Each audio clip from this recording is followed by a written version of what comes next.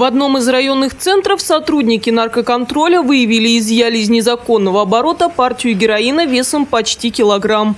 Наркотик принадлежал неработающему гражданину цыганской национальности. В настоящее время преступник арестован и помещен в следственный изолятор. Ему грозит наказание в виде лишения свободы сроком до 20 лет.